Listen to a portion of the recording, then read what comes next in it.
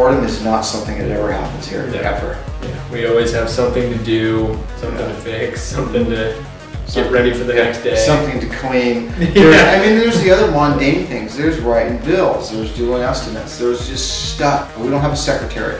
We don't have a, a cleanup guy. We, I mean, we are all of it. So there's always something to do, and that's not boring.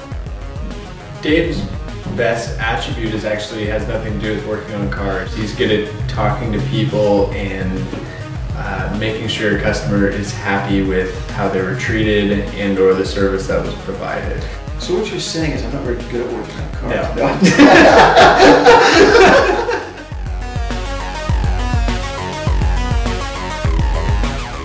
I think Derek's best attribute um, for, for the shop for us is his his blue eyes. Yeah, um, is uh, basically his, his technical uh, knowledge and diagnostic ability, which is outstanding. I think way uh, outweighs his age, and, and a lot of the techs I've worked with over the years who've been doing this for 30 years can't do what he can do um, as far as diagnostics. So I think that's a huge strength.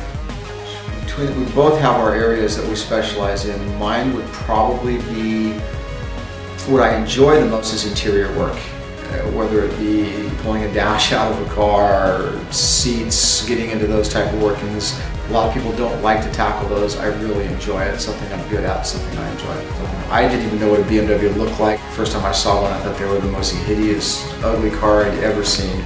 Uh, I enjoy BMWs specifically because of the interest of the company in making a performance-oriented car that's fun to drive and uh, satisfying for the customer to uh, enjoy a takeout on a windy road or the racetrack. My specialties would include wiring and specific diagnostic um, portions of repair that some people may not otherwise do. A challenging day can be something where you have to trace either a you know wiring problem or a, or a diagnostic condition that doesn't always present itself. It may only happen to the customer under specific conditions that we can't recreate.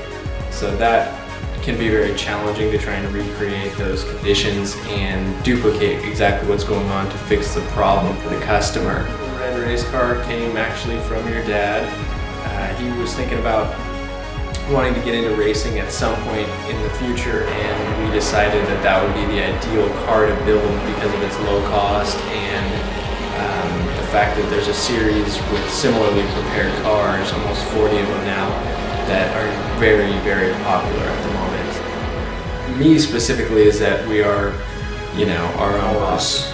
and us having control of what we do. Um, I think for me, it's the interaction with my That's the customers. best part for me is being in control.